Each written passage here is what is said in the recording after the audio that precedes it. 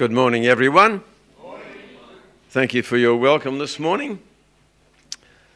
It's a while since I was last here, and uh, I was thinking about what I would talk about, and I thought, well, I better not give the, the same sermon. There might be someone here who even remembers it. So um, we'll try something different this morning. Just let's bow our heads again before we start.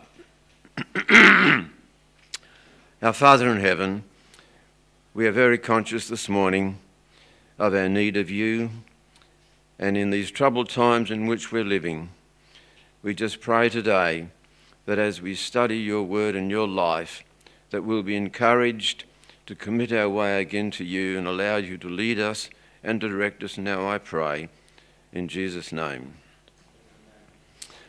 I try to keep in touch with some of my ex colleagues who are Adventists.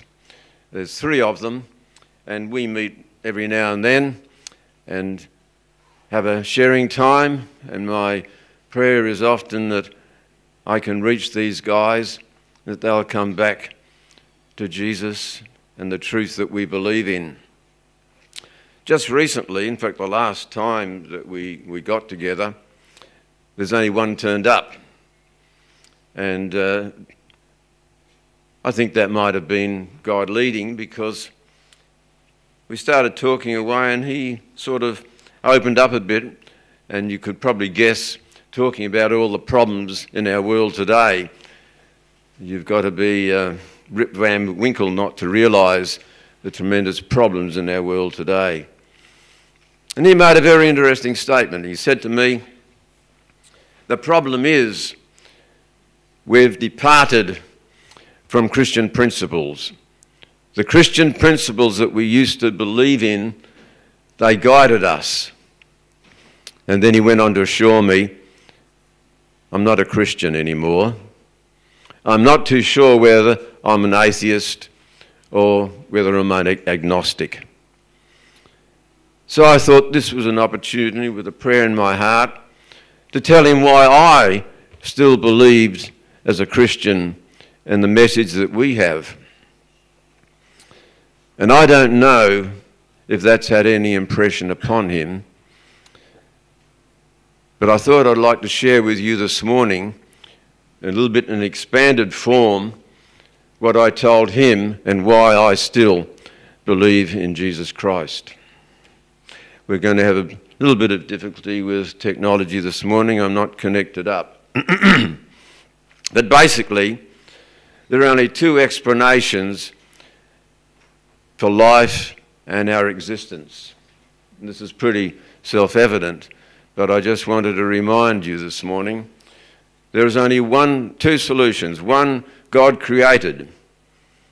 Now, for many people, and like my friend, it's too difficult for them to comprehend a God who has always existed and made everything. And let's face it, that takes faith.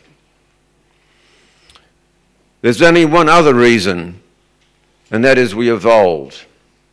Life commenced in the primeval soup, and chemicals came together, and suddenly we had life. Now, any of you who, I'm a biologist, anyone who has studied biology knows to fulfill all the requirements of life, they all have to come together in one instance. And I'm not going to spend a lot of time on this. But just one small protein, like the hemoglobin protein, the chances of all those, what we call amino acids, coming together to give you that protein is 10 to 190. Do you know what that is? That's 10 with 190 noughts after it. That's one protein. And you need, in various estimates, many, many more proteins to all come together and all the other chemicals for life to occur. Now, some scientists, evolutionists, they're honest and they admit that this is a seemingly impossibility. In fact, one famous scientist said, it takes faith. admitted that. But he said, I prefer to put my faith in this than in God. But the trouble is today, and even amongst some Adventists, many Christians want to have it both ways. They believe that God started the process off and He has been a benign supervisor of the process over millions of years till the la we have mankind or humankind. God clearly foresaw this because when He established the Sabbath, it was a one day to remember that in six days He created. Then he reminds us again in the Ten Commandments. And we know that Jesus kept the Sabbath, as was his custom, we're told. It was so important that he interrupted the plan of salvation to remain in the grave on the Sabbath. And the New Testament reminds us that he is the creator. And you can look those texts up. And of course, as Adventists, what do we believe in? The end time message is going to be to remind people that He is the Creator. We are called to call people back to Him as the Creator. now, as Christians, we have an additional reason to have faith in a God. Anyone like to suggest that, what that is? Well, I'll tell you the life of Jesus Christ. Now, how can this be? Now, many, many people, like my friend, believe that Jesus was a good man, but no different to Muhammad or Buddha or Confucius.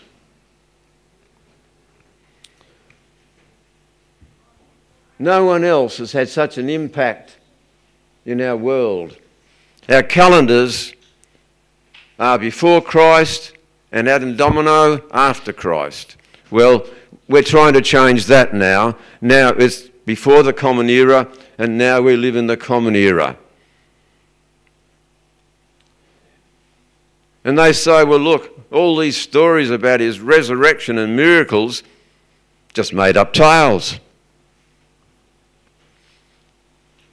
And even more people are negative of because of what Christians have done in his name. And may I remind you, you mustn't look at our fellow believers. We look to Christ. And the shame is that so many of us have misrepresented him. And where I'm coming this morning is that my faith was greatly strengthened when I visited the Bible lands in 2019 before COVID came along. And so the title of my talk this morning is I Walked Where Jesus Walked. And this I firmly believe. Let's start, and this is going to be a very quick overview of all the places we visited and of their significance, all which testify to the, to the, uh, the truth of the Bible the birth in Bethlehem. And we know Joseph goes from Nazareth to Bethlehem to register. I thought I'd just show you here this morning. Here we have Nazareth in the first century when Jesus was on the earth, and now we have the current situation. You'll notice here, this colour here is the state of Israel. Well, it wasn't initially, but in the 57 war, they annexed more. And then in the 1973 Yom Kippur War, when they were attacked by the Arabs, they took over these Palestinian territories.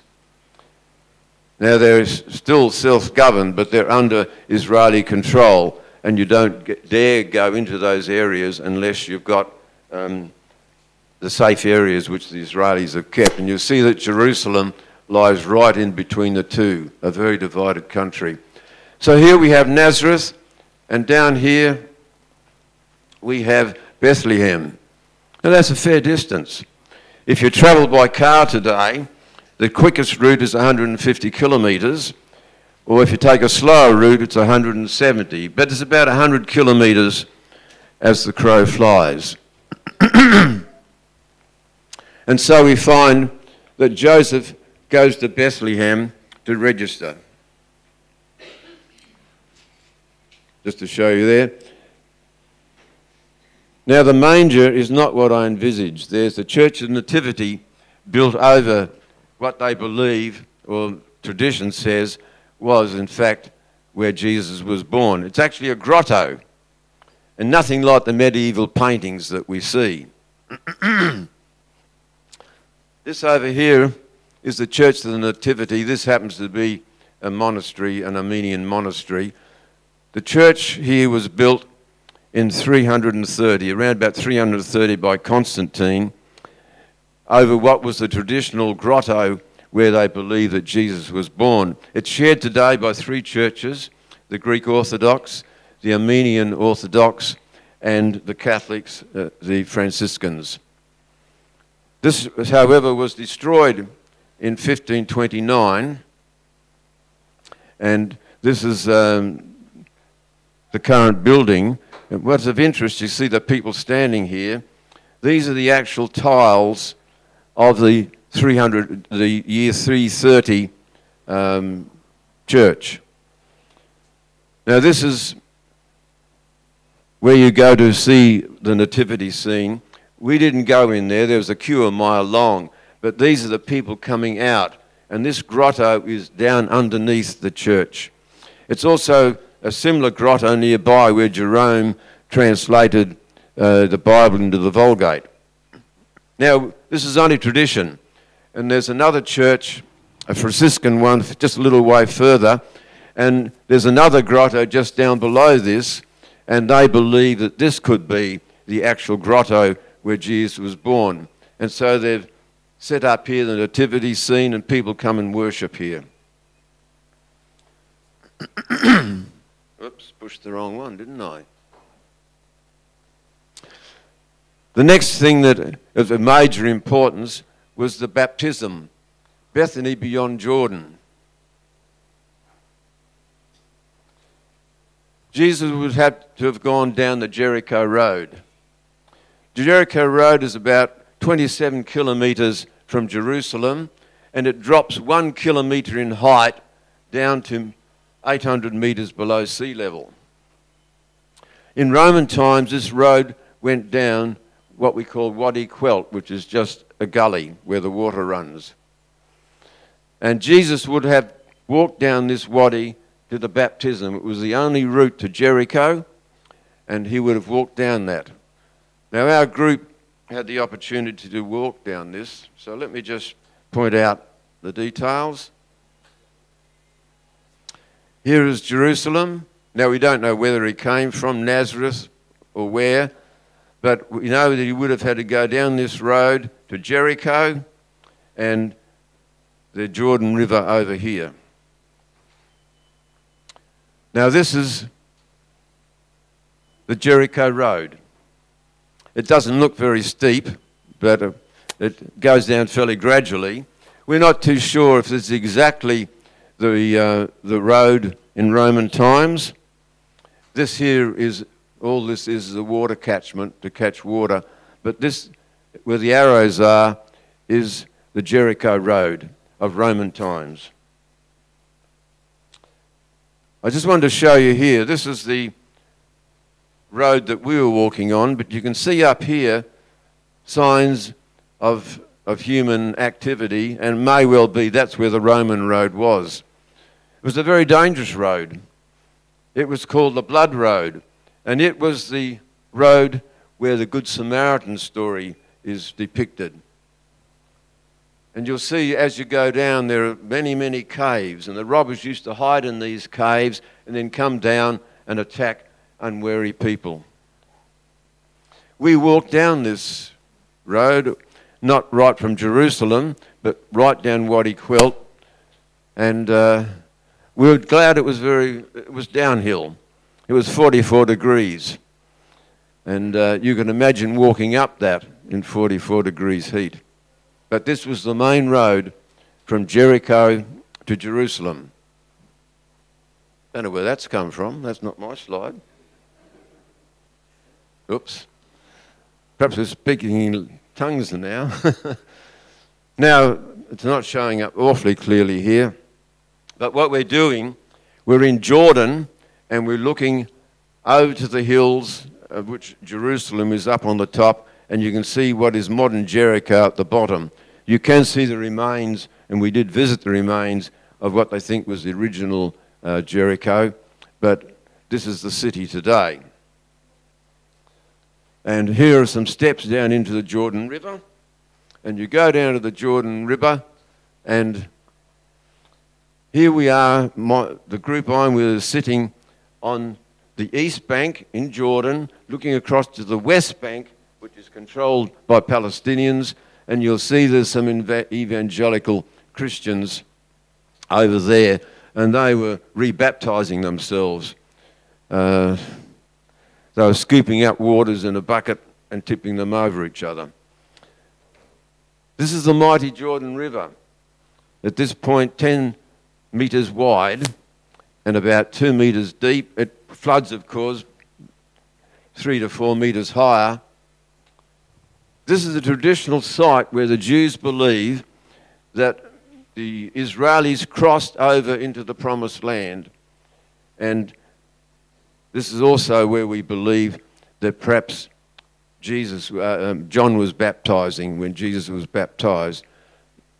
Maybe not exactly here, but certainly somewhere along this stretch of water because he would have come from Jericho.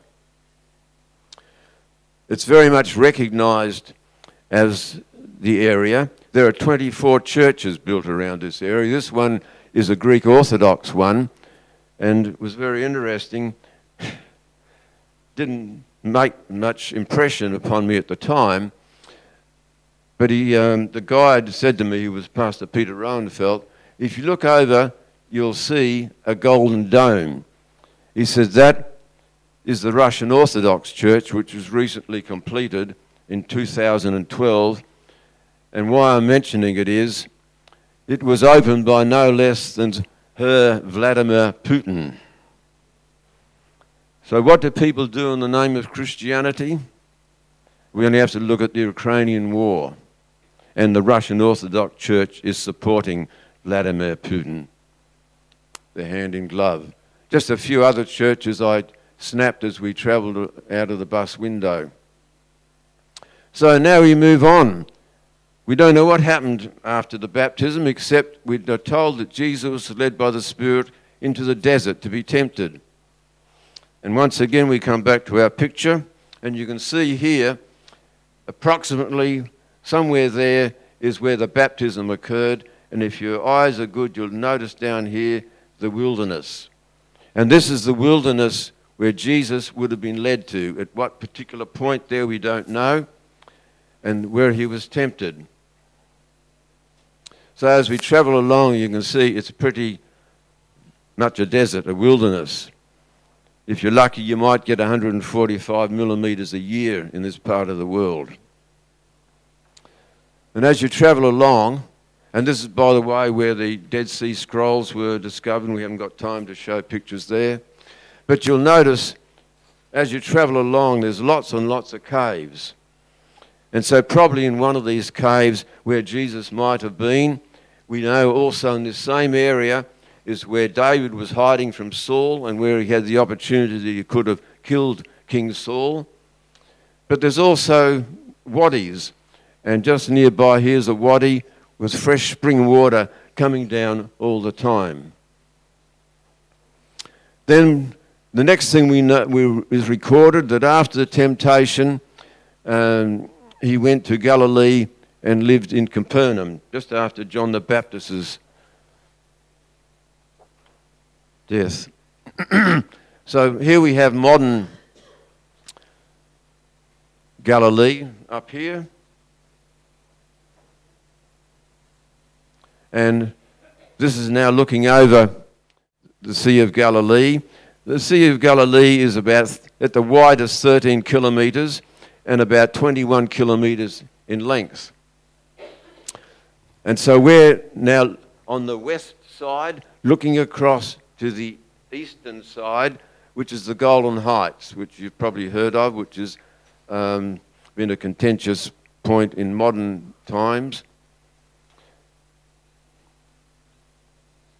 Just going back, just down in this area, there was a drought some years ago, and they found a bit of a boat sticking up out of the, of the, of the, of the mud and that, and they excavated and they reconstructed, uh, dried it out, and this is the remains of a boat of the first century. So this would have been a similar sized boat to what Jesus would have sailed in with the disciples. It's a first century boat, they know that.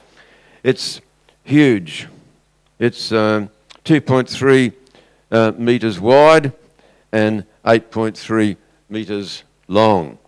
You might think, well, you don't need to have to worry about that because uh, we notice that uh, the Sea of Galilee is pretty calm, but it can change very, very quickly. And even near the end of this day, the wind started to come down and it started to get a bit choppy, but you can get very, very rough. What we're looking at now is the southern tip of the Sea of Galilee, and you can see here some vegetation, and this is where the Jordan River leaves and goes on its way to the Dead Sea. It's pretty big up here too, you can see. Mighty Jordan Roll. It's not a very big river, is it? But what a lot of history. So let's have a quick look at the Galilean ministry. We're told that he went to Capernaum. There's no such place today as Capernaum. You won't find it on the map, uh, on a modern map. But they have excavated, and it's partly excavated, and the estimate is that there would have been about 5,000 people in Christ's time living there in Capernaum. And so we're out on the Sea of Galilee, and you can just see, if you're very good, at the bottom of the arrow there, a church. And this church is where uh, they've been excavating. Here is just a few of the excavations. These are houses. Tradition says that this is Peter's house. There's no absolute uh, evidence of that at all, but typically this is what it would have been like. The other very interesting thing, as was his custom, we're told Jesus went to the synagogue. And this is the site of a synagogue uh, that was present uh, in uh, biblical times.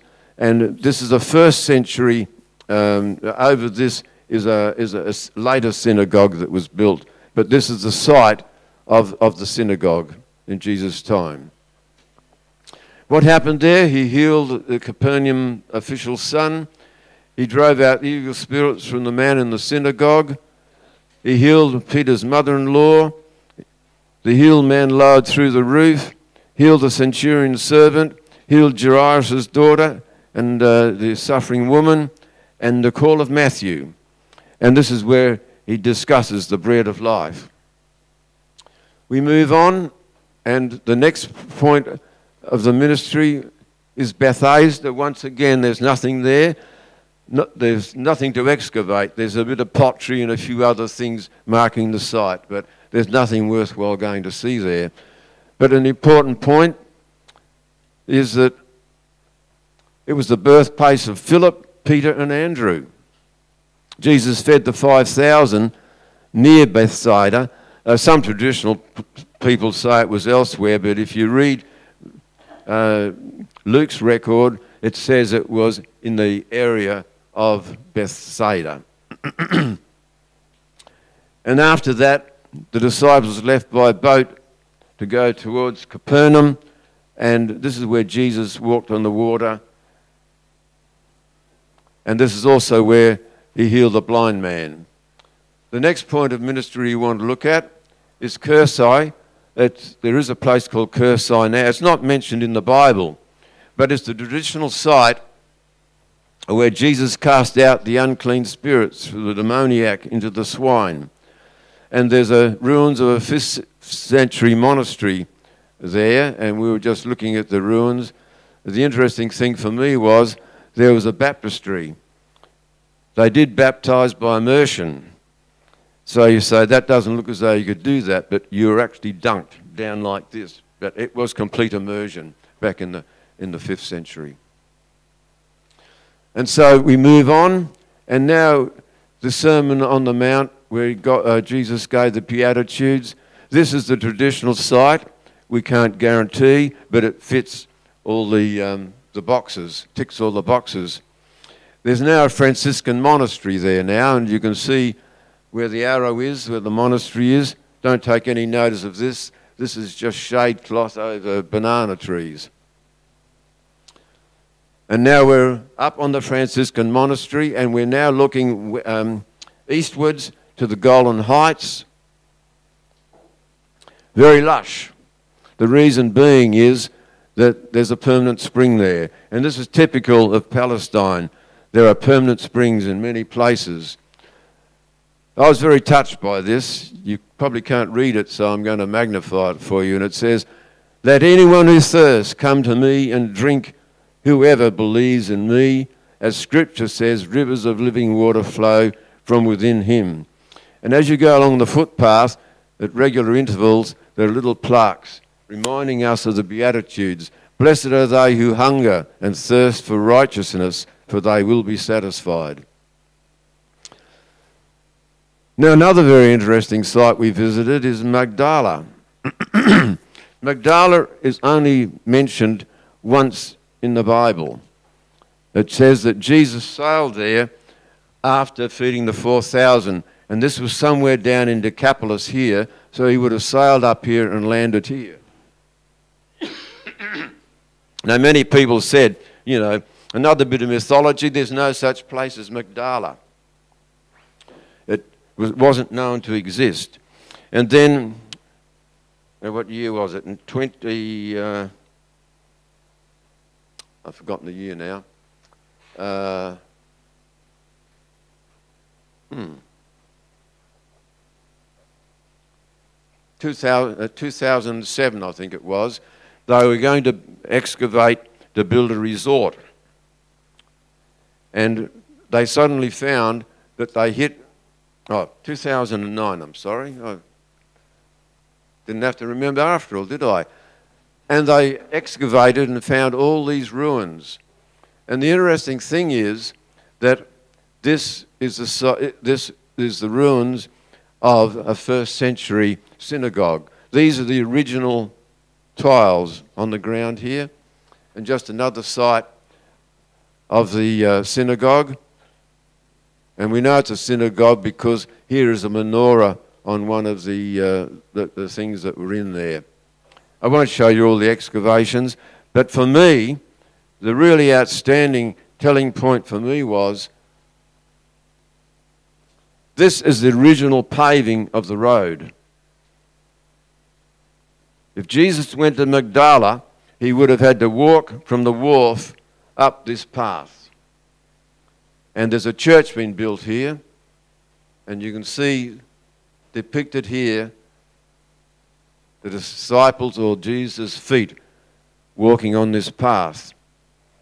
And this is where I bring the title of my sermon, because I walked on these stones, and I walked where Jesus walked. We want to skip now to Jerusalem. I don't know what's happening there. Must be your computer up there, Neil. Here we are on the Mount of Olives looking over a cemetery towards Jerusalem, the old Jerusalem. And this is what we call the Temple Mount.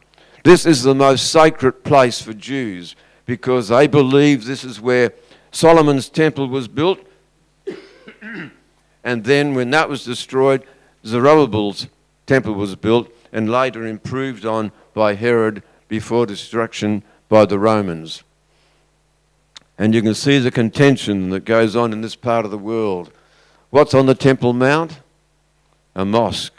And this is the third most sacred place in, in Muslims is here because they believe that Muhammad went to heaven and came back again. And they actually have control of that. They will allow other people to go there. Jews are not allowed to pray there, by the way. Now, if we come and look the other direction, you can see once again where the Temple Mount is. And here's the Wailing Wall. Because this is, they believe, the remains up to here of the wall of the temple in uh, biblical times when, uh, when Herod did some renovations to it. And this is where the Jews wail for the lost temple. I don't know what's happening with that. Never mind. Now, this is very significant. And if you want to read about this, it's in the December issue 2019 of the National Geographic. And we were very fortunate because they just excavated this earlier, we were there earlier in 2019. And these, this was excavation underneath the, the old city of Jerusalem. And you can see all the, the uh, supports holding it up so the, the, the roof doesn't collapse. These are the steps from the pool of Siloam. The pool of Siloam is dry today, but these are the steps. This is where the priests would have walked down for ritual cleansing before they went up to the temple on the, up above on the Temple Mount. This would have been where Jesus walked after he um, healed the man, the leper, the uh, cripple. I've walked up here, and once again, I'm convinced. What's going on? I walked where Jesus walked. Jesus would have walked on these steps. Man alive. What's going on? Anyway, excavations, they believe this could be the steps that led up to Caiaphas's palace or residence where Jesus was taken. Now, this is inside. I don't know what's going on. Never mind. uh, we'll just go back.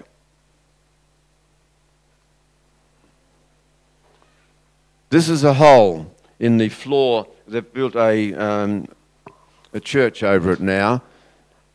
The significance this is that the high priest would not meet a criminal. He would be contaminated.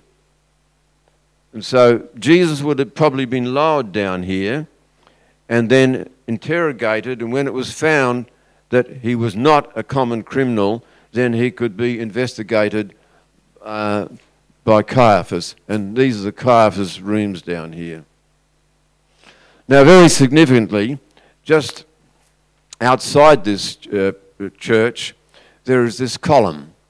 And this denotes where Peter denies Jesus three times. And you can see Peter here and the maid, uh, to the two maids and the soldier whom he denied, having known Jesus. And here, of course, is the rooster. And in the background, you can see the Temple Mount. We now come to the crucifixion and death. We don't know the exact, exact site of the crucifixion. We don't know the site of the burial. This is a traditional uh, tomb that would have been like that, except there's no stone in front. And inside you can see an empty tomb.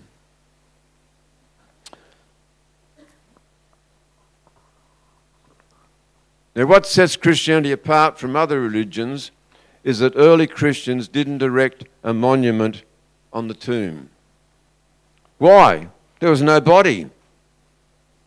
Other religions have monuments where their leaders' tombs are. Here we have Muhammad's tomb in Medina. Here we have uh, Buddha's, uh, the stupa of the Buddha's remains in Kushinagar in India.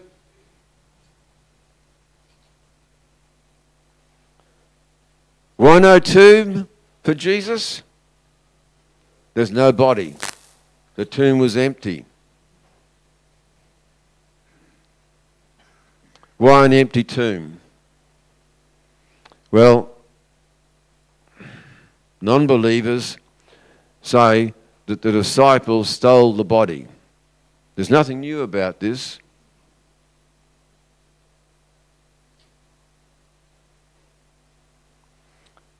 Matthew records this. Some of the temple police who had been guarding the tomb went to the chief priests and told them what had happened.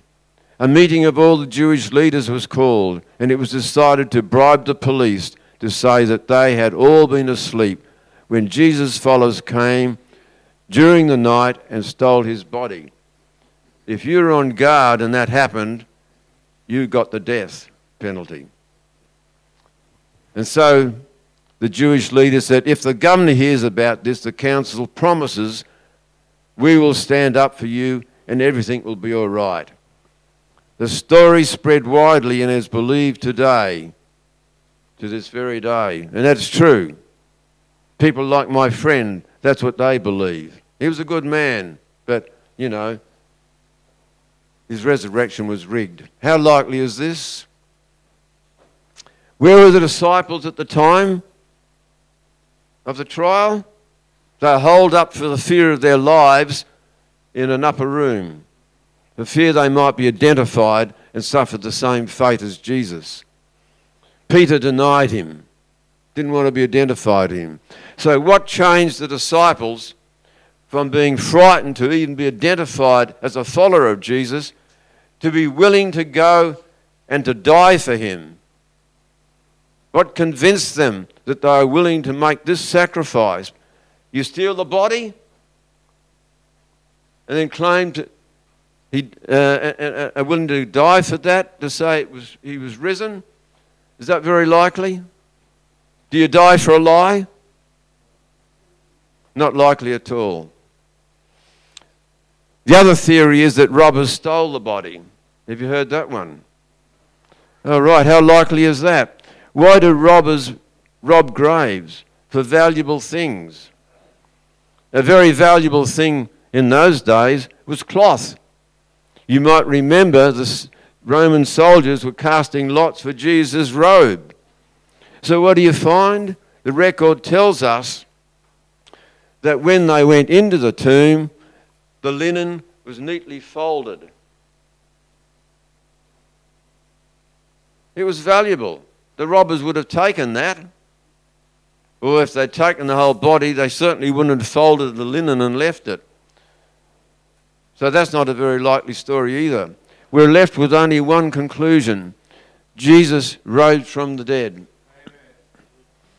And that is one of the most telling points, as far as I'm concerned, to be a Christian, is the life and resurrection of Jesus Christ. He was no man. After Christ's resurrection, John, Peter, and five other disciples went back to their trade of fishing. Now, this is an interesting one. Once again, it's a traditional site. But here is the Sermon on the Mount traditional site. And down here, you can see a church. And this is the traditional site where Jesus appeared after the resurrection to the disciples that were fishing.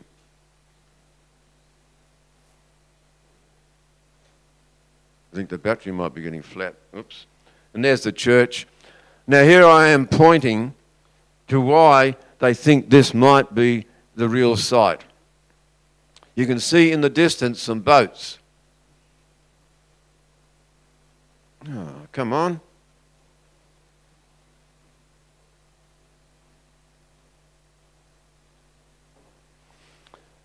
What are these boats doing?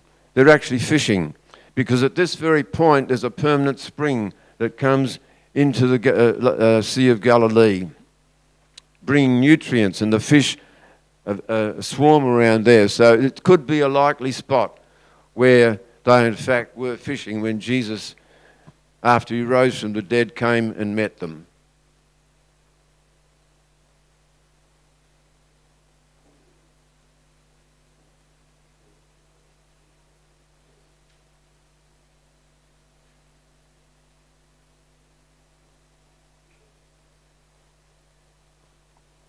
You might remember that three times Jesus says to Peter, Son of John, do you truly love me? Why three times? Because he denied Christ three times. So, three times he asked this question. Three times Peter says yes. And Jesus replies, first of all, feed my lambs. Secondly, take care of my sheep. And thirdly, feed my sheep. Christ's final injunction to Peter and all disciples is what? Follow me. And it's the same challenge for all disciples today that we are to follow him. We next know that Jesus walked towards Bethany, lifted up his hands and blessed them, and then ascended. Luke tells us more in Acts. Two white men said, This same Jesus shall so come in the same way ye have seen him go into heaven.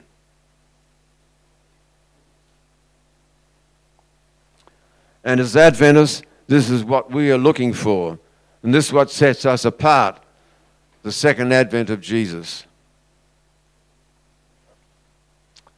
The challenge for me was with all the miracles and the resurrection, the Jews mainly were not ready for the first advent.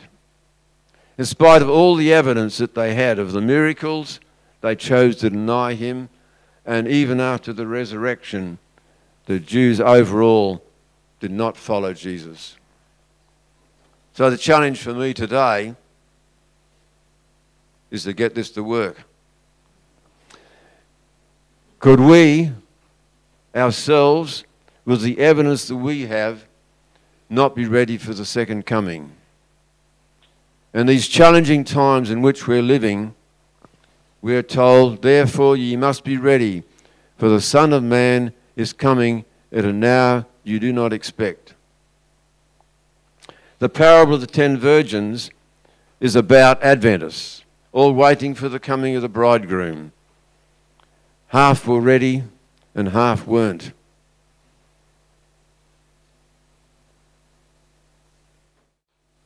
With all that's happening in the world today, we need to ask ourselves, Am I ready?